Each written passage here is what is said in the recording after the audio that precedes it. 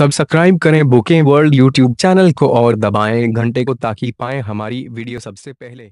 Asia cup 2018 में आज, बुधवार, टीम इंडिया का मुकाबला पाकिस्तान से खेला जा रहा है। पाकिस्तान की टीम टॉस जीतकर पहले बल्लेबाजी करते हुए ज़्यादा स्कोर नहीं खड़ा कर सकी और महज एक सौ बासठ रनों पर वेल आउट हो गई। इस तरह टीम इंडिया को जीत के लिए निर्धारित 50 ओवरों में एक रनों का लक्ष्य मिला है। पाकिस्तान की बल्लेबाजी के दौरान हार्दिक पांड्या के मैदान में चोटिल होने की वजह से मैदान में फील्डिंग करने आए मनीष पांडे ने एक शानदार कैच पकड़ा। यह कैच 25वें ओवर में पाकिस्तान के बल्लेबाज सरफराज अहमद का था। केदार जाधव की गेंद को सरफराज ने बाउंड्री पार कराने के लिए ऑन की ओर खेल दिया। इसी दौरान वहाँ फील्डिंग कर रहे पांडे ने कैच लपक लिया। मनीष पांडे ने अपने दाएँ ओर दौड़ते हुए यह कैच पकड़ा।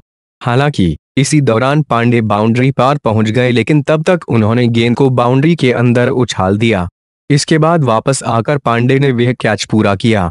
बता दें कि सरफराज अहमद ने भारत के खिलाफ छह रन, इससे पहले बल्लेबाजी के दौरान पाकिस्तान के दो विकेट सिर्फ़ तीन रनों के स्कोर पर ही गिर गए।